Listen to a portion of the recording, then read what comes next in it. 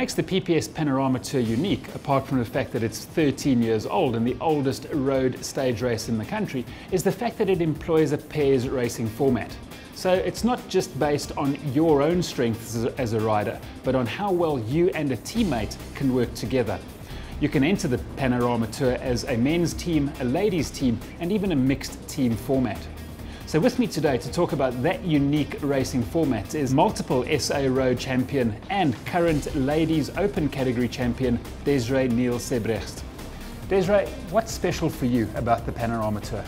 I think I just love the fact that it's a stage race. We don't get a lot of those in SA um, on the road. So the dynamic of the stage racing is just something that was new to me and I got there completely thinking I was prepared and was completely overwhelmed. It just adds a whole different dynamic to road racing, whereas normally it's a, a quick average 100k, three hours, gun it, and tactically it's, you know, whichever team has got the best tactic wins, whereas this, first day maybe, second day it starts taking its toll, and especially as a roadie, third day, and by the fourth day time trial, you are just bleeding.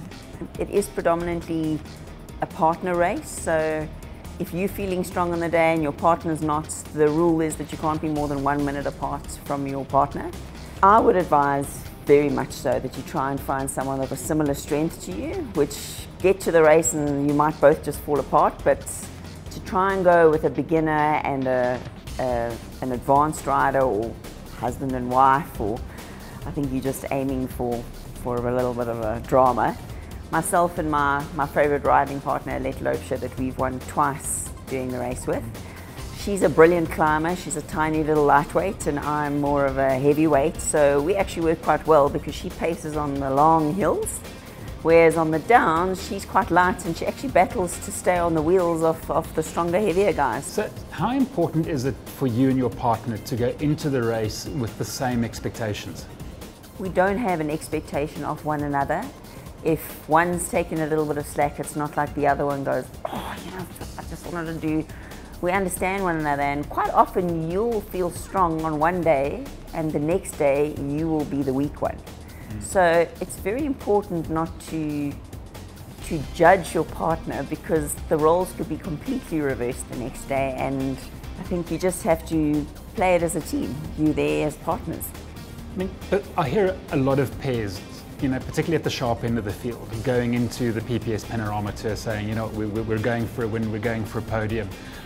Is it important that you set expectations or that you allow for a kind of fluidity in terms of uh, how your partner might be feeling on a particular day? Obviously, you try and plan and you try and stick to your plan as much as possible, but variables happen. Weather changes, mechanical issues, I mean, I've even done a race where Shane, one of the girls, her seat post broke and she had to ride the last 30 Ks with no seat. And then, of course, the next day her legs were dead. So certain variables obviously change, but you obviously do go there with an intention to be the best that you can be, but you also have to be realistic. So if day one doesn't pan out as well as you thought, obviously you go day two and you hope for the best and you still give it horns. I think the most important thing is as well is to just enjoy it. You know, so many riders put so much pressure on themselves and their partners and they just forget why they're doing it. And I mean, I, I know you and uh, Annette, you, are very different riders, you're very, you have very different strengths and weaknesses and different builds. How, how do you bridge that gap?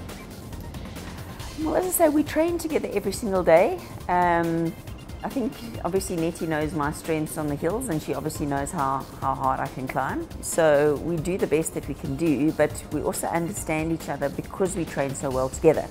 So leading up to Panorama Tour, we obviously focus a lot more on climbing rides, a lot more on hill training. Um, nutrition is key, key, key, especially on a stage race. I mean, day one you can get away with it, day two maybe, but by the time you get to day three, if your nutrition hasn't been right for that lead up to the race and that day one and two, then coming to the day four where you think, oh, it's a time trial, it is not your regular kind of time trial. Everyone goes, oh, but the heavier riders will do well.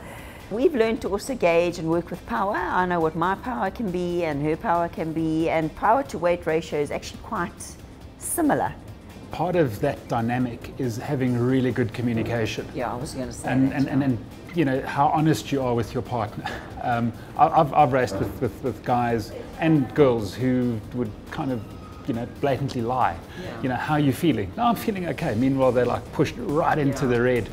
How important is that communication aspect? And, and how do you get over it um, in, in a very fluid and dynamic uh, race? From day one, we always warm up at least 30 minutes on the rollers or the, or the indoors before we even start. So you already kind of can gauge there where your legs are feeling from the day before. And then we always ride up to the starts that we're nice and warm because panorama from the gun. I mean, they say it's a neutral zone up the first climb. Well, let me tell you that half the field is off in that neutral zone. It is hard. It is hard. You go down this flying hill and then it's up.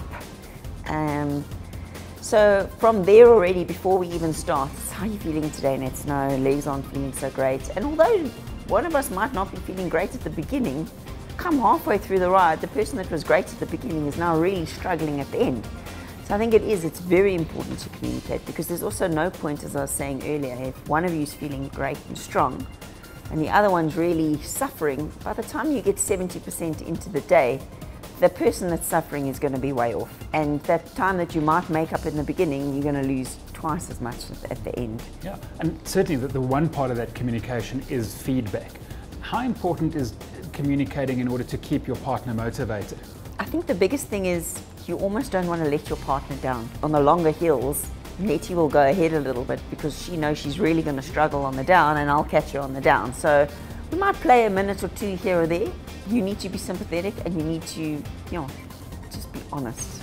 Yeah. But and you, you've kind of started leading into my next question, whi- whi- which is around teamwork and how within that pairs format you can use different strengths uh, to, to lay a foundation to, to set you up for a, a better performance by the time you get to the finish line. How important is that? Um, you know I think you do need to mentally prepare yourselves that it is four days. You know, you can't go all gung on the first day. Um, so once again, as I say, your nutrition, your rest, we always stay together, so that also helps. Um, I think massage is key as well every day. If I can just give that as a little pointer, Uh, you know, not nothing hectic, just a little half an hour on the legs. Preparation of meals, just preparation is everything. Um, rest. I think Desiree, one of the real novel aspects of the PPS Panorama is that fourth stage time trial. How do you work together in a team to, to get through the time trial? Um, well, being a time trialist myself, I mean, I've won the SA title twice. It's generally more of a rolling, flat, in the TT bike. Everything's you prepped, you warm, you you've had time to rest, your legs are ready. Whereas panorama, you get to day four and you actually don't know how you're going to finish.